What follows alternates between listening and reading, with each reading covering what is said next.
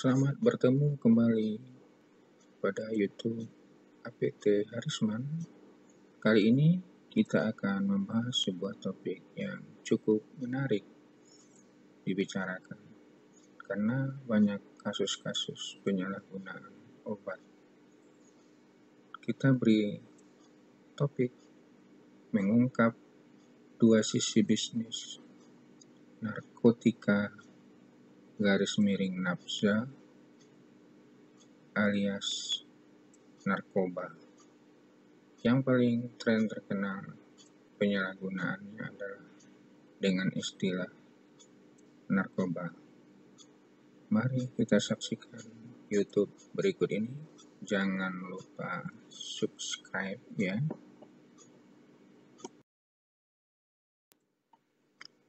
Sisi pertama bisnis resmi narkotika. Bisa kita lihat pada bagan berikut ini. Narkotika secara peraturan pemerintah itu diberi izin untuk memproduksinya adalah satu pabrik. Pabrik ini harus memenuhi aturan Permenkes RI dan Undang-Undang Narkotika. Setelah obat diproduksi di pabrik, maka akan didistribusikan kepada PBF atau pedagang besar farmasi yang telah diberi izin juga oleh Kementerian Kesehatan RI dan sudah memenuhi kriteria Undang-Undang Narkotika. Selanjutnya dari PBF akan didistribusikan ke fasilitas pelayanan kesehatan, bisa ke rumah sakit. Rumah sakit juga sudah harus memenuhi kriteria peraturan sesuai dengan Permenkes RI dan Undang-Undang Narkotika. Bisa juga ke tempat pelayanan kesehatan seperti apotik. Apotik juga harus memenuhi aturan Permenkes RI dan Undang-Undang Narkotika. Itulah alur dari obat narkotika secara resmi dan peraturan perundang-undangan. Jadi pertanyaan adalah kenapa pebisnis resmi menyiapkan stok narkotika? Sesungguhnya pebisnis resmi menyiapkan stok narkotika itu adalah demi kepentingan pasien. Justru itu diatur alur distribusi narkotika di fasilitas pelayanan kesehatan. Obat-obat narkotika harus dikeluarkan oleh apotik melalui resep dokter Resep dokter harus memenuhi kriteria screening resep yang dilakukan. Resepnya harus asli, harus ada tanda tangan dokter, harus update tanggal resep, tidak boleh resep terlalu lama baru ditebus. Kemudian alamat praktek dokter dan izin praktek dokter harus terbaru, tidak yang sudah habis izin prakteknya. Kriteria resep itu di screening secara farmaseutik maupun klinis di apotik atau apotik rumah sakit maupun puskesmas tempat pelayanan kesehatan. Setelah resep itu memenuhi kriteria, maka baru didistribusikan obatnya kepada pasien dengan melakukan double check karena obat ini termasuk obat high color yang mempunyai resiko cukup tinggi pada pasien. Lalu diberikan edukasi kepada pasien tentang cara penggunaan, efek samping, dan lama penggunaan obat narkotika tersebut. Jadi alur ini yang dilalui pada saat pebisnis resmi menyiapkan dan menyerahkan narkotika. Tenaga kesehatan yang menyerahkan juga apoteker harus mempunyai izin praktek atau SIPA di apotek tempat pelayanan kesehatan.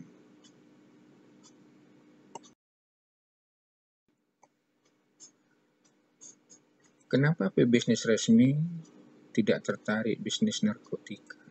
Sebenarnya pebisnis resmi tidak terlalu tertarik dalam pengelolaan narkotika. Kenapa? Karena pertama pesanan rumit. Untuk pengadaan obat ini cukup rumit, kontrolnya cukup terkendali dari PBF. Sehingga dengan alur seperti itu diharapkan ada pengendalian di PBF. Kemudian harga murah, jadi tidak terlalu banyak memberikan keuntungan kepada pebisnis resmi di dalam hal bisnis narkotika. Yang ketiga, administrasi rumit, mulai dari administrasi pemesanan, administrasi penyimpanan, aturan penyimpanan, administrasi pengeluaran, administrasi resep dokter ketika diterima, sampai dengan pelaporan setiap bulan. Tidak lewat dari tanggal 10 tiap bulannya harus dilaporkan pengeluaran obat narkotika di pelayanan kesehatan ataupun apotek.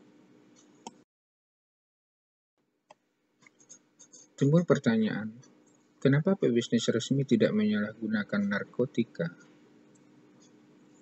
Ada beberapa faktor yang menyebabkan mereka tidak melakukan penyalahgunaan. Yang pertama, patuh pada peraturan. Karena peraturannya jelas, ada undang-undang narkotika, ada peraturan pemerintah tentang narkotika, ada Permenkes RI tentang narkotika, yang semua aturan-aturan itu harus dipatuhi oleh pebisnis resmi.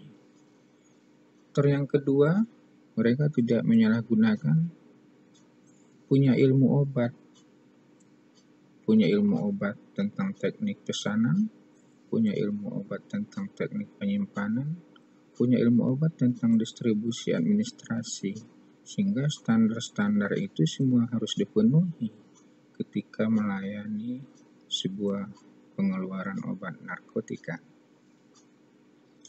Faktor yang ketiga adalah punya ilmu farmasi klinis. Pebisnis resmi akan melihat indikasi penggunaan narkotika, akan melihat interaksi obat ketika bersamaan dengan obat narkotika pada sebuah resep, akan melihat efek samping obat narkotika. Kalau ada efek samping obat narkotika, akan disampaikan kepada pasien bagaimana cara mengatasinya oleh apoteker yang menyerahkan narkotika. Dengan tiga faktor inilah, maka pebisnis resmi tidak mau menyalahgunakan narkotika. Apalagi risiko narkotika kepada pasien akan bisa kita lihat pada slide berikutnya.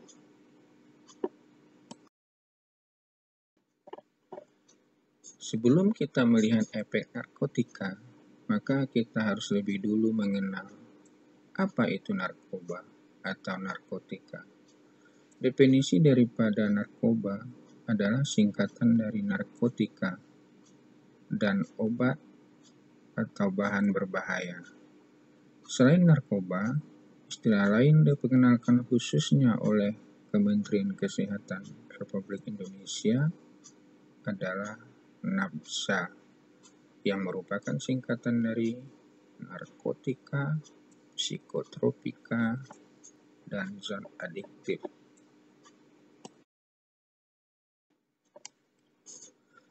Penggunaan narkotika pada jalur resmi oleh dokter itu sebenarnya berdasarkan indikasi penggunaan, tetapi ada penggunaan obat narkotika di luar resmi itu yang pada penggunaan resmi pun efek narkoba akan timbul suatu zat suatu efek yang disebut dengan efek adiksi. Apabila narkoba tidak diberikan sesuai dengan resep dokter, maka efek dari adiksi ini akan lebih besar resikonya ketika narkoba disalahgunakan. Apa yang itu yang disebut dengan efek adiksi atau ketagihan?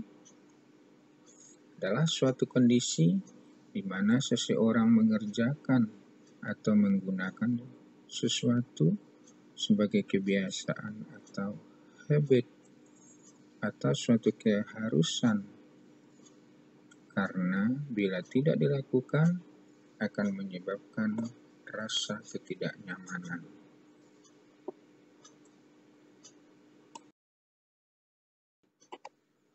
Mekanisme kerja obat narkoba atau narkotik itu seperti kita lihat pada gambar berikut ini tidak ubahnya seperti kunci dengan induk kunci. Ada kerja obat narkoba atau narkotik yang disebut dengan cara kerja obat agonis, di mana obat-obat yang diberikan atau narkotik yang diberikan itu bekerja menyamai kerja daripada neurotransmitter yang ada di otak.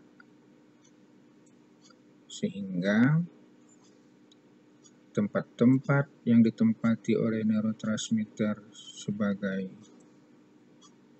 tempat kerja obat di reseptor itu akan ditempati oleh obat-obat narkotik yang diberikan kerjanya bersamaan dengan neurotransmitter sehingga sel-sel yang ada di saraf akan bekerja sesuai dengan yang diharapkan.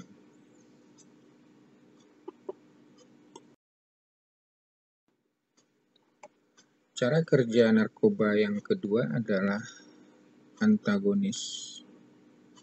Cara kerja ini di mana obat-obat antagonis neurotransmitter itu akan menempati resep faktor daripada neurotransmitter yang ada di otak. Kemudian setelah dia ditempati, maka neurotransmitter dan obat-obat antagonis narkoba yang lain tidak bisa lagi menempati reseptor daripada obat yang bersangkutan.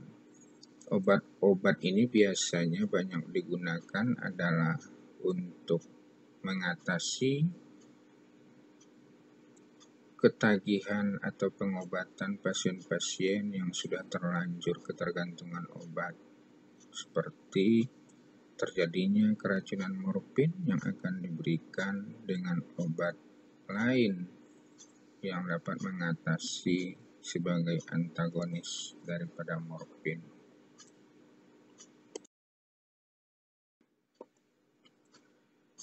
Kita lihat sisi kedua adalah pebisnis ilegal narkoba. Kalau kita lihat bagan dari alur pebisnis ilegal itu sangat berbeda sekali dengan pebisnis resmi atau legal. Kita lihat kalau pebisnis ilegal dimulai dari pabrik rumahan tanpa izin, kemudian lanjut ke bandar narkoba juga tanpa izin. Lanjut kepada individu pensupply, bisa juga langsung kepada individu pemakai. Maka alur ini tidak satu pun bisa dipantau oleh pemeriksa peredaran obat.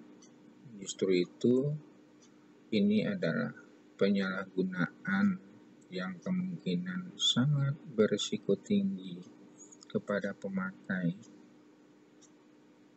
Hal inilah yang saat ini yang di pasaran ditemukan pebisnis ilegal narkoba dengan alur seperti ini. Timbul pertanyaan, kalau narkotika resmi sudah ada, kenapa pebisnis ilegal masih tertarik menyiapkan narkoba? Ada beberapa faktor yang membuat pebisnis ilegal tertarik.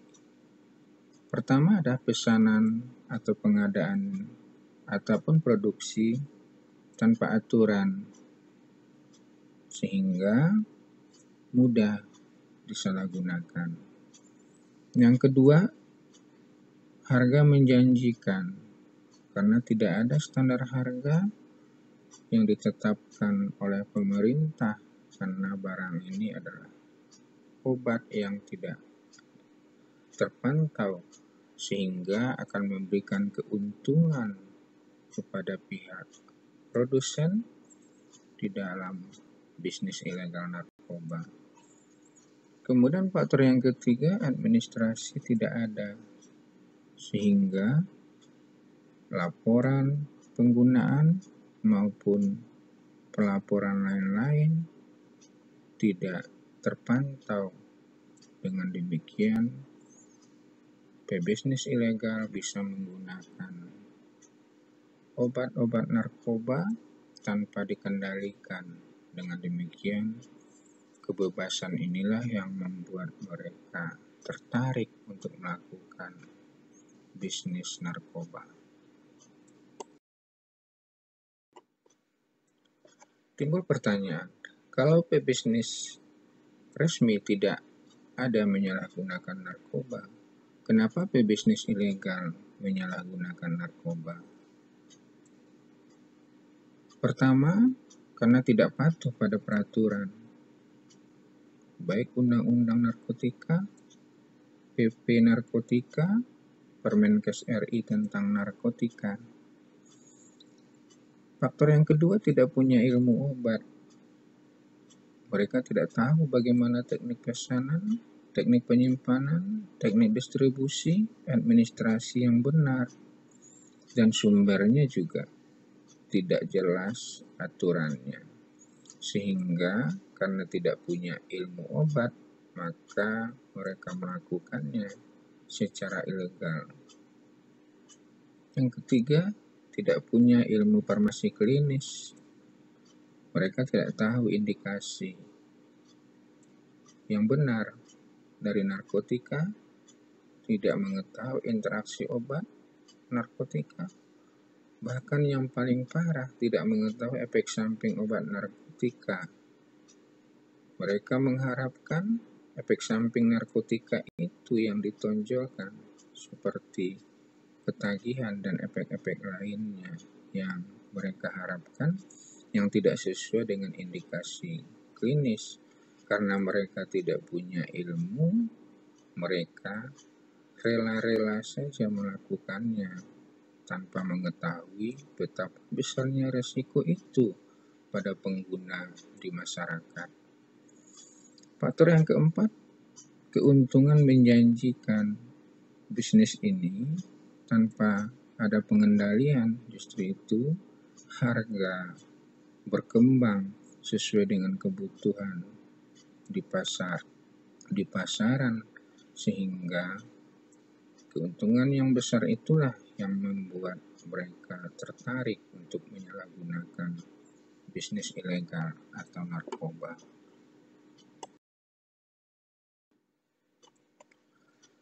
Melalui YouTube ini perlu kita paparkan sehingga pebisnis ilegal bisa menstop bisnisnya setelah melihat keterangan berikut ini. Kita lihat resiko bila penyalahgunaan narkoba pada seorang individu. Beberapa risiko bila seseorang menggunakan obat terlarang atau narkoba. Pertama, kondisi malnutrisi dapat mengakibatkan risiko ketagihan dan PK terhadap infeksi penyakit. Kedua, risikonya penggunaan alat suntik yang tidak steril dapat terjadi risiko infeksi penyakit hepatitis dan HIV. Ketiga, pemakaian obat yang tidak jelas asalnya dapat menimbulkan risiko terjadinya overdosis. Misalnya penggunaan heroin yang overdosis dapat menyebabkan koma dan kematian. 4. Ketagihan itu sendiri dapat menyebabkan gangguan kesehatan dan tingkah laku tidak normal. Yang kelima, ada beberapa faktor yang menyebabkan seseorang menggunakan narkoba dan obat-obatan, yaitu mengalami stres berat, permasalahan pribadi, permasalahan di tempat kerja, sekolah, dan sosial. Justru itu harus diperdalam ilmu agama dan ilmu kemasyarakatan sehingga faktor-faktor sosial ini juga teratasi. Dengan besarnya risiko pada pasien ini diharapkan pebisnis narkoba menstop bisnis ilegalnya dan pengguna juga menstop untuk tidak menggunakan obat narkoba.